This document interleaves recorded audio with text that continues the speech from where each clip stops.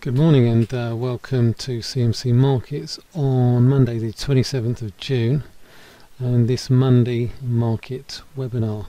Certainly quite an awful lot to get through given recent events. Obviously Friday's volatility saw the pound hit a 30 year low. Since then we've hit fresh lows on sterling.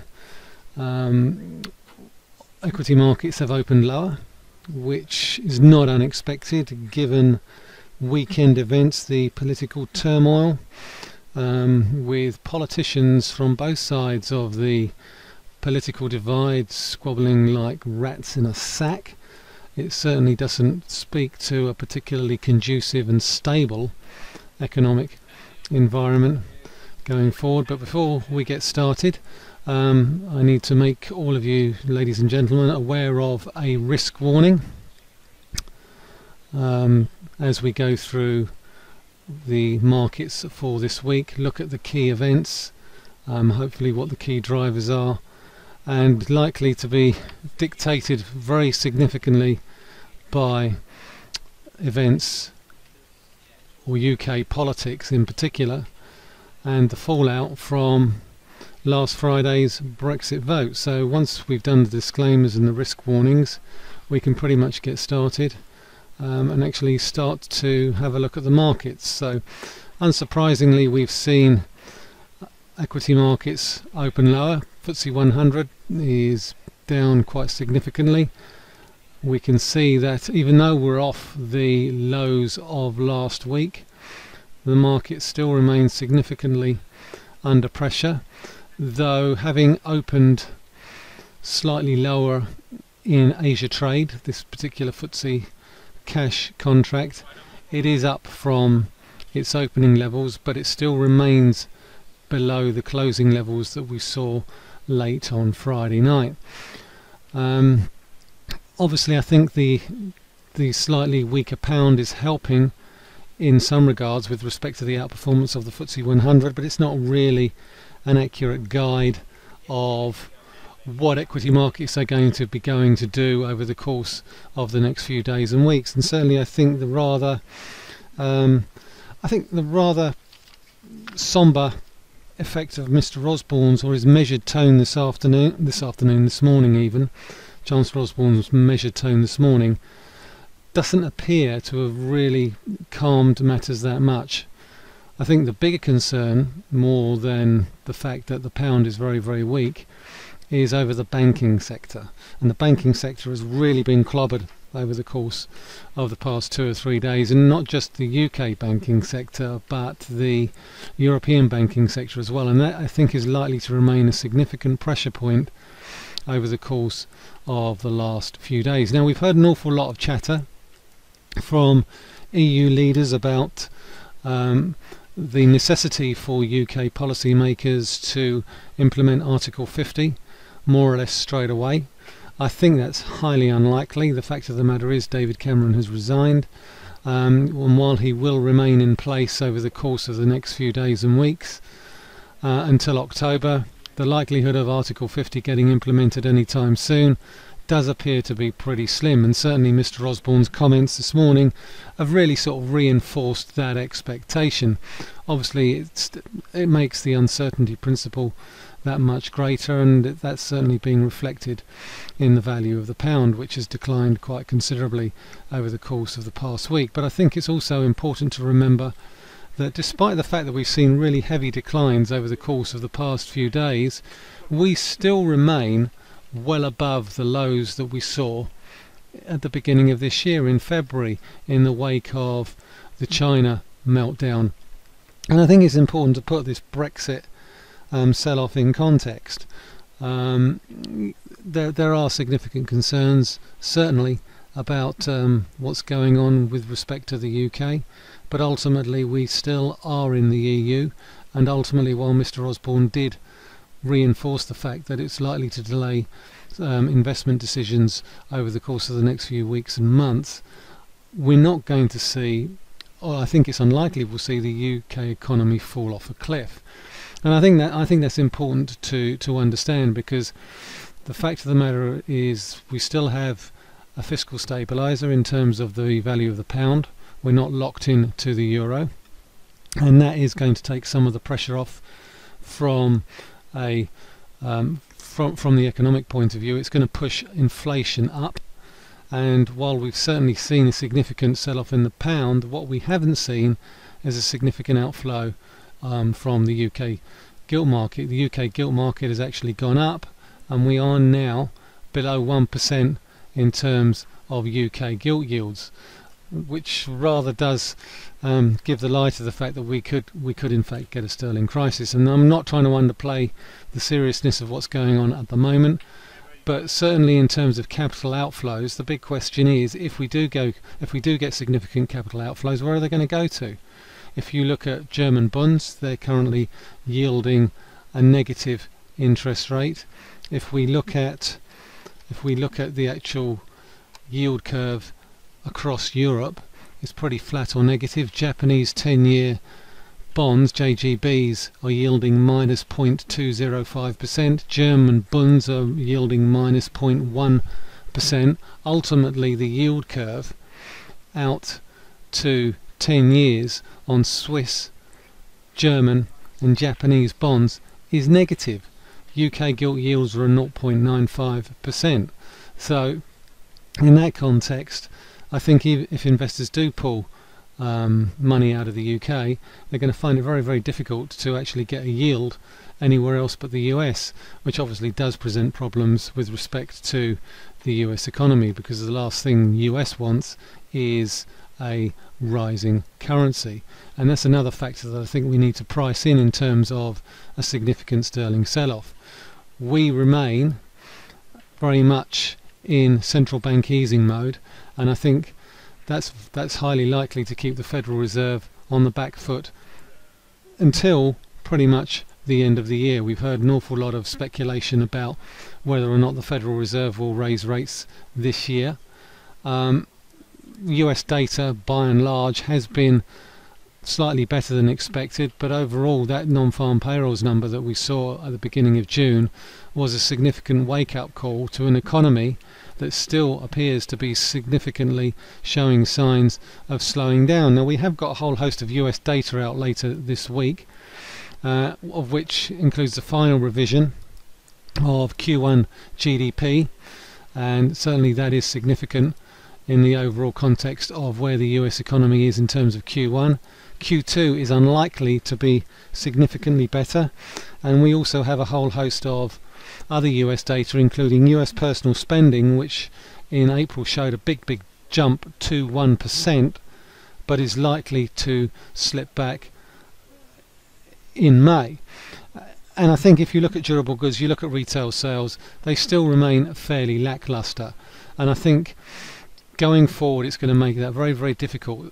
And it's going to give the Fed a perfect excuse to hold off raising rates. So let's start our analysis of the various charts by looking at the pound against the dollar and this cable chart. And this cable chart is looking a little bit busy. So what I'm going to do with respect to this is try and try and get rid of some of these lines. Mm, oops, there we go. Let's just get rid of that if we can.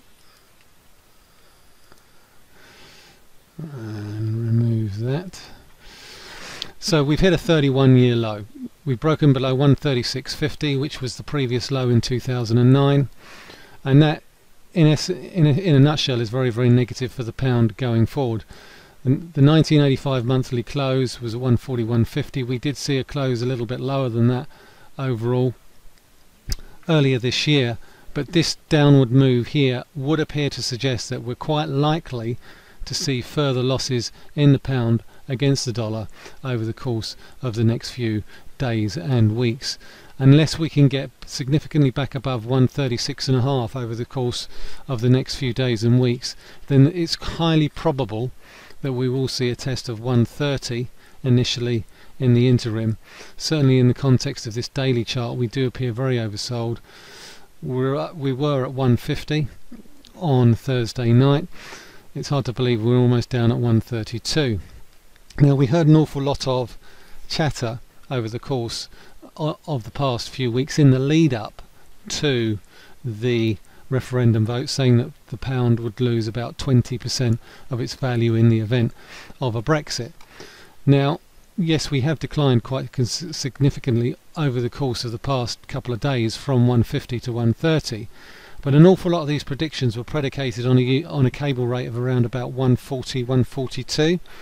So if you work out a, a sterling rate decline of 142, of 20% from 142, you're talking about 24 big figures from 142, which puts you around about 115 or 120, and not the extremes that we got here, which is a, significant move down from the highs of 150. The reason we got up to 150 was because everyone was expecting to get a Remain vote. So you got an awful lot of what I would call front running of that decision, and basically the market got it massively wrong. They thought that we get a Remain vote based on the movement in the polls, and they saw no such thing. And that way the market was caught massively the wrong side, and as you can see from this single daily candle here we saw an aggressive sell-off lower so 150 to 132 yeah that's a that's a that's a really big move but ultimately um, when you're making a prediction about a 20 25% downside they were making these predictions based on a cable rate of around about 140 we moved 7% higher in the preceding week for those predictions and now we've dropped 14 or 15% lower so what we're seeing here is a significant readjustment of those expectations. And certainly against the dollar, what's also happening here is we're getting a, a repricing, a repricing of potential future Bank of England monetary policy expectations, a potential for further rate cuts over the course of the next few days. Mark Carney last week said that he would be looking, or the Bank of England would be looking at 250 billion pounds of extra cash to support um, liquidity within the capital markets here in the UK. Potential for further rate cuts, and again, that's why we're seeing the UK gilt yield slide back down below that 1% level to trade around 0.95%. And it's in essence, that's why you're seeing this the pound weaken as much as it, as, as it is because when you compare the differentials between US 10-year treasuries the yield differential is widening out in favour of the US dollar. In terms of euro sterling the effects are slightly more nuanced in terms of the sterling declines but certainly in terms of this particular move here. Here's euro sterling weekly chart. If we take this chart out from the peaks that we saw in 2008 2009, where we got to within 2 euros of capacity of parity we've seen a significant down move in the euro sterling euro weakness sterling strength of 69 we're now looking to retrace around about 50% of that entire move over the course of the next few days and weeks. Big level is at 83.70 that's 50% of this entire down move 50% retracement. And then above that looking at 87 so 83.70 on the top side is a significant resistance level for euro sterling followed by 87 now this is not what I would call a zero sum game. This is not just about sterling weakness. This Brexit vote also throws into sharp focus the weaknesses in Europe as well Europe currently is running a negative rate interest rate policy in contrast to the UK so there will be negative effects there will be drag effects on the euro which is why I don't expect to see si a similar amount of sterling declines against the euro as I would expect to see potentially against the US dollar. And for that we can look very very closely at banks. So I'm going to open up my banking watch list here and this gives you an indication of the stresses and strains faced by the European banking sector and the UK banking sector. Now we heard from George Osborne today and he stipulated, or he, he assured us that uh, UK banks were fairly resilient. Now we can certainly see in the context of this overlay chart that I've got in front of you right now that um, it's not a pretty picture. We can see straight away from here that um, a lot, a lot of the banks, all the UK banks, are significantly under pressure. But they're in a much better place than they were in 2008 2009. Our biggest concern is obviously RBS, which is the blue line, which is which is down nearly 50% from where it was at the end of in the middle of September last year. This is a comparison chart.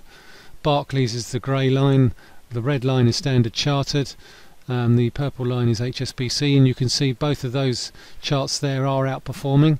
Not surprisingly, because they have much more exposure to Asia and less exposure to the UK, but certainly the UK based banks like Lloyds, RBS, and Barclays are taking the brunt of the hit in terms of concerns about the effect that lower rates will have on their margins, as well as obviously concern about passporting um, to the Eurozone area in the event that the UK leaves the single market.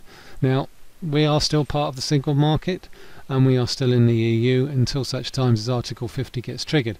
That being said, markets generally don't tend to wait for that to hang to happen, they'll tend to get out in front of it.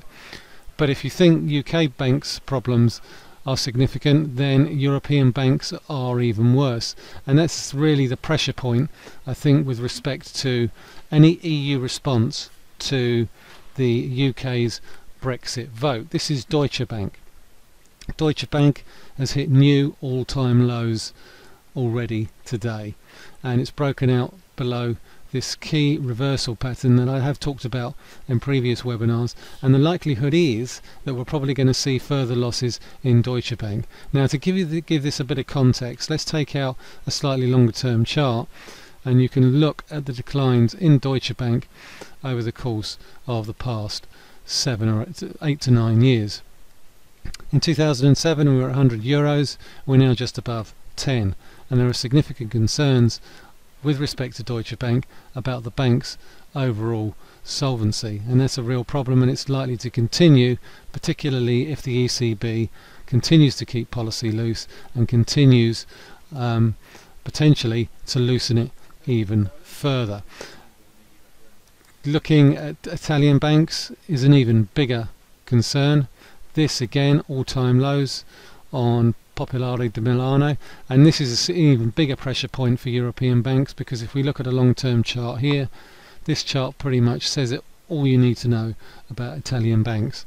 They are sitting on a huge amount of non-performing loans. There's still no significant agreement amongst European policymakers as to how to resolve the problems with the European banking system and until such times as that situation is resolved it's going to make it very very difficult for the European economy to show any signs of recovery.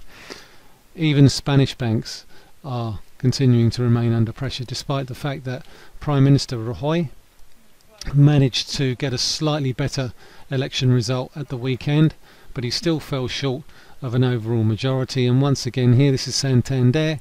We are actually not at the lows that we saw on Friday but we did open higher and basically we've rolled straight over. So that that paints a very very difficult picture for the European banking sector.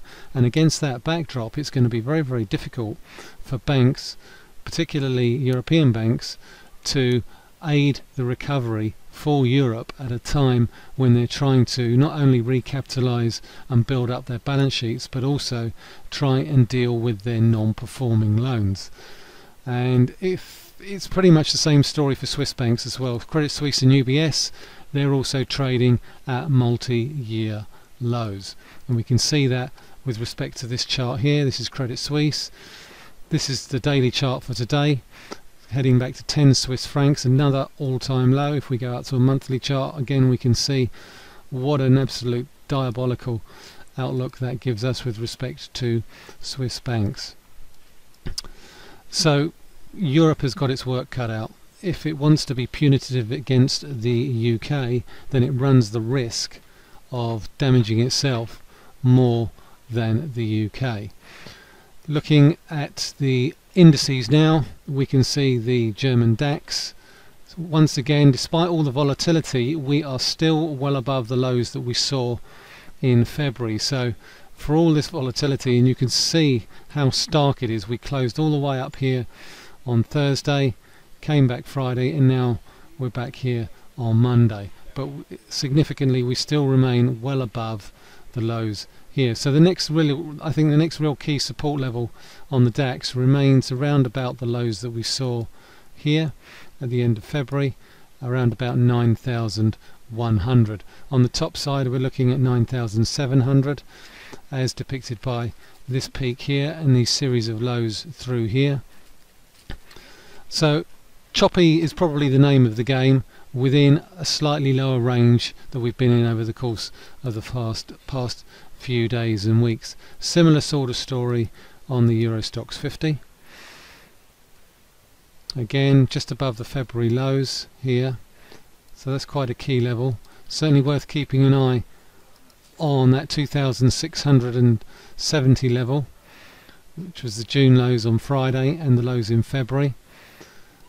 Obviously, you have to factor in in in the context of the Euro Stoxx 50, the CAC 40, uh, the Italy 40, and the Spanish index.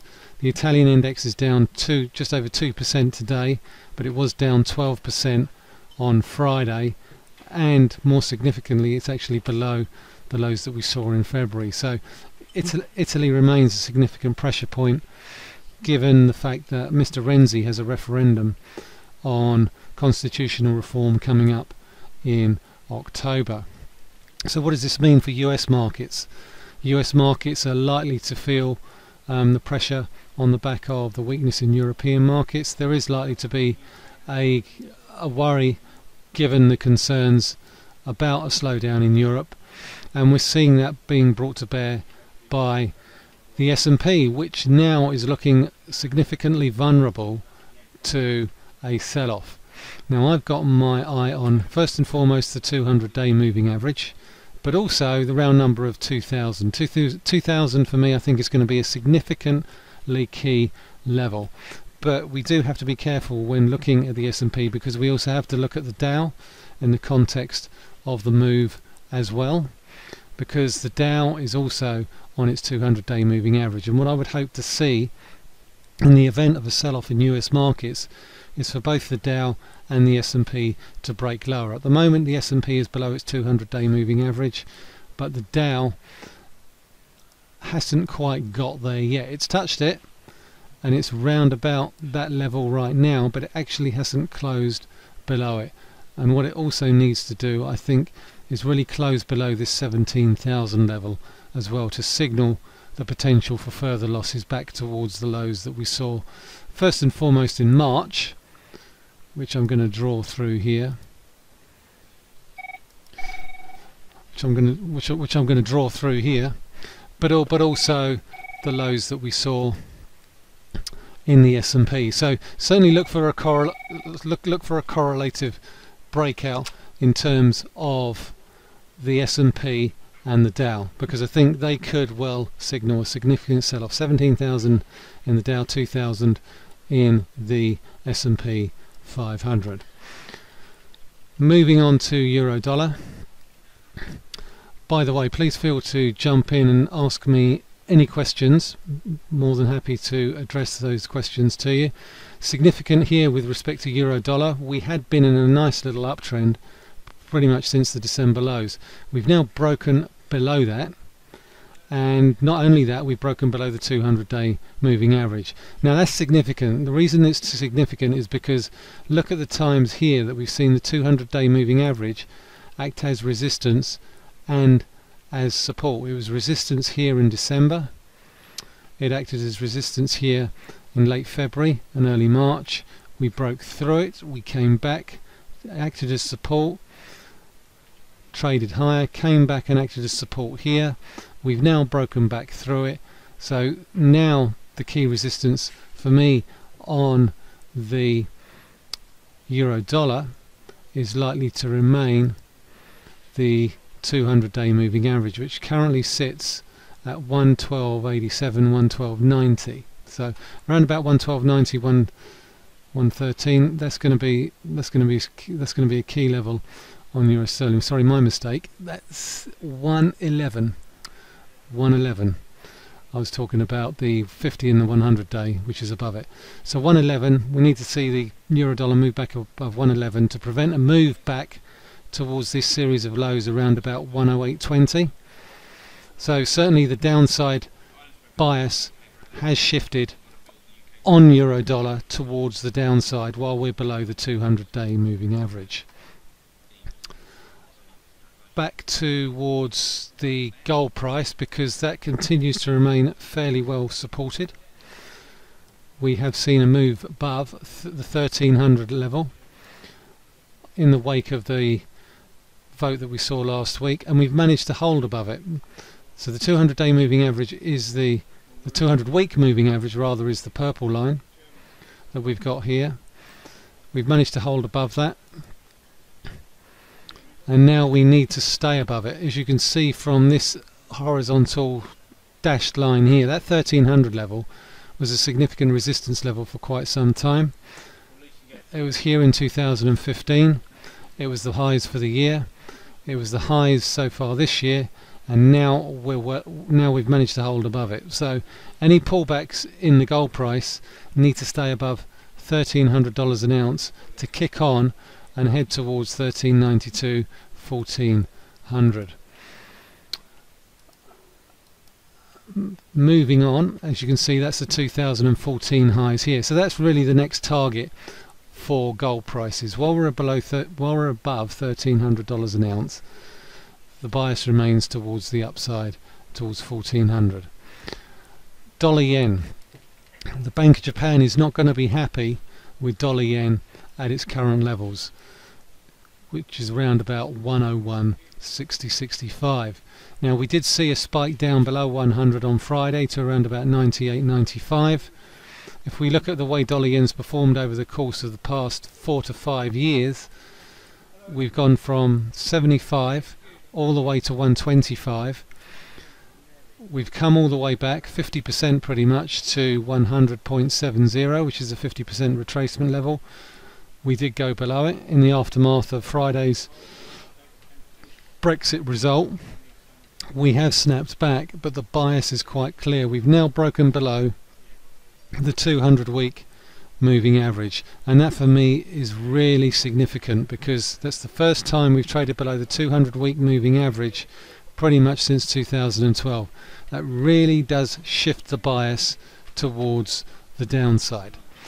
So for me if we get any pullbacks in dollar yen then we're likely to find that they're probably going to get significantly sold into. Big question is when does the Bank of Japan get concerned about potential intervention? Well, I would argue that they're not going to be that concerned about it until such times as it goes below 100. If we get below 100 and we start to really accelerate towards 95, the Bank of Japan is certainly going to start making noises about potential intervention. And, and that for me, I think, could well come in the course of the next two or three weeks because if we get further weakness in equity markets which appears likely given given where the FTSE is right now we need to hold above 6,000 for me on the FTSE to suggest that um, we're not going to see further weakness. Then we could well see further yen strength further dollar weakness. I've been asked about silver. More than happy to cover that for you. Again silver's underperforming gold at the moment. And what we really need to see with respect to silver is a move above these series of peaks at $18 an ounce. We did try and get above it early on Friday, but we were we were not able to sustain that move higher. And ultimately, until such times as we do, I'm very very reluctant to sort of put anything on silver until we get either through these peaks here or we slip back to this series of lows that we've got all the way through here at around about $17.10 so overall I think silver the outlook remains fairly positive but the lack of follow through on the top side does worry me a little bit and and does suggest that we could actually see a little bit of a bear a little bit of a bull trap back towards this $17 an ounce area that we've got coming in through here. Because if you look at the various series of lows that we've got in April and May and around here in June there does appear to be a significant area of congestion between 16.90 and $17 an ounce and that for me I think is a very key area in terms of silver prices over the course of over the course of the next few days and weeks. Looking at $17 on the dip,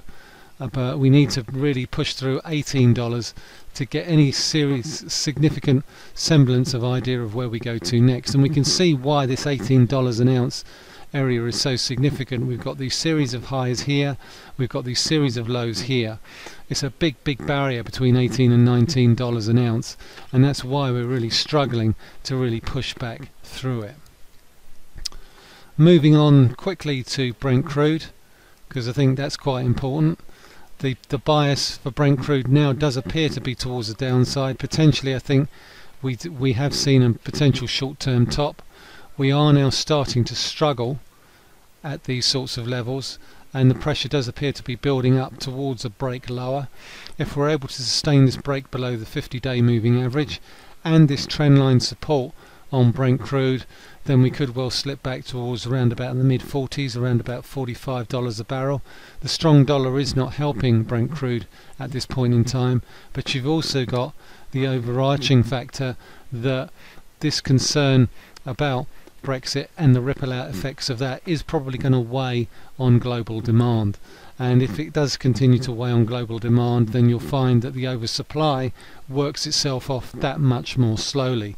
So, barring any supply disruptions, you've got to think that the upside in crude oil is likely to remain fairly limited.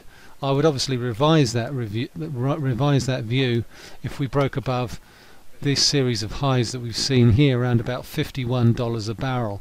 Otherwise, the bias I think remains to the downside and a move towards this longer term trend line from the 2016 lows. It's a similar sort of story on WTI. And we can see that it helps if I actually open the correct contract, which is the continuation contract, which we have here. Again, it's a similar sort of story. We have broken the uptrend line, but what we haven't done is broken below the 50 day moving average. And certainly I will be looking to really break below 45 these this this this series of lows here just above 45 45 55 46 dollars a barrel. These twin lows here again we've got a similar sort of resistance up here around about 50 dollars a barrel on WTI so that's likely to act as a significant barrier and a break lower below $45 is likely to bring us back to around about $42, 43 dollars a barrel. Okay, hmm. so unless anyone has any other questions thus far about any markets that I haven't covered, I'd like to wrap this up and um, you can listen back to it online if you so wish once I've posted it um, on YouTube in the next two to three hours. Just waiting for any questions. If not, I'd like to thank you all for attending this week's Monday Market webinar and hopefully you can join me again next Monday or at the non-farm payrolls webinar which is 1.15 on Friday the 8th of July not the 1st, the 8th of July 115 to 145. you can enroll that you can enroll in that on the CMC Markets website under Learn, under the Learn section, and Education, Learn and Analysis. Otherwise, thanks very much for listening, and um, good luck out there trading today and this week.